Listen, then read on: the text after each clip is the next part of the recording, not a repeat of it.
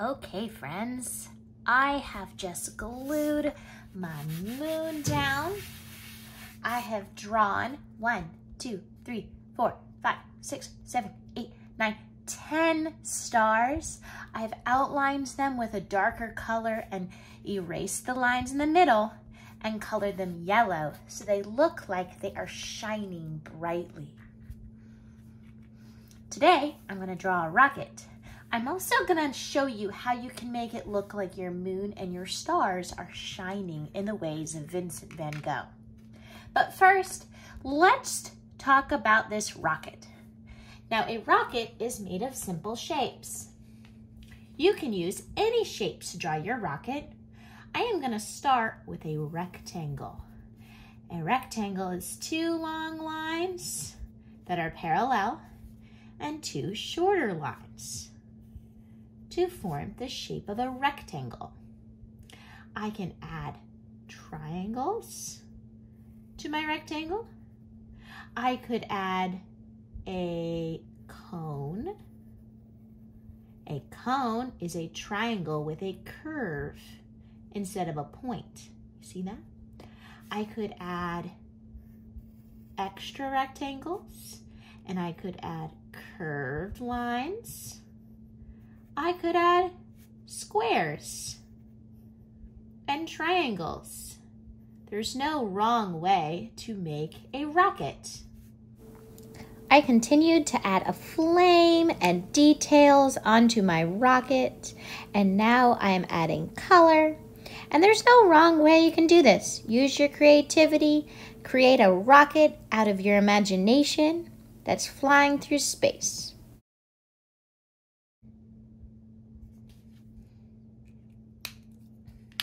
Okay, I have finished. I even added an American flag onto my rocket. Remember, a rocket, you can't really go wrong because all you're doing is adding shapes that look like a rocket. Squares, circles, rectangles, ovals, all those things. I have a big, beautiful moon that shows lots of texture. I've learned how to make five pointed stars. They are all different and interesting. This is a quick introduction to the most famous painting, The Starry Night.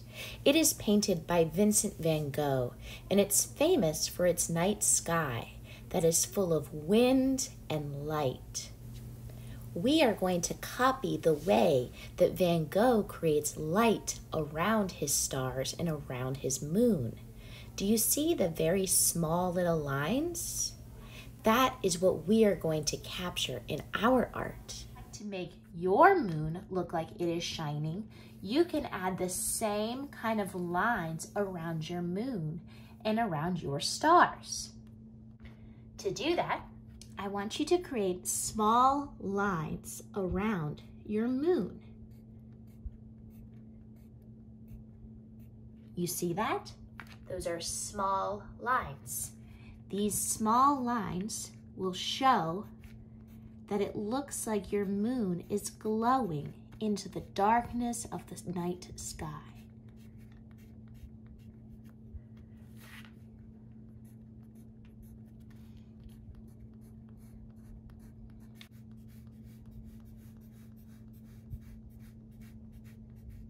Does it look like my moon is glowing? I hope so. I can do the same thing to the stars.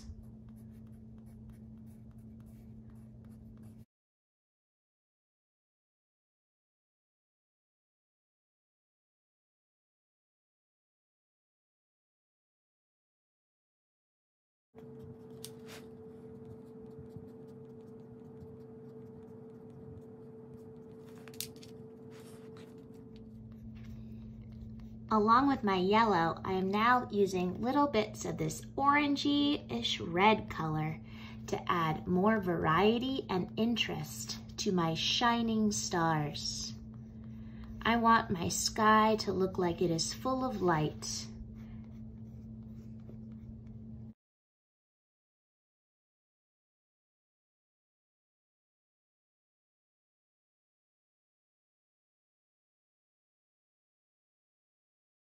I'm gonna leave it like this. I think it's beautiful. I am showing the moon and the stars and a rocket shining brightly in the sky. All right, thanks for creating with us. We'll see you next time.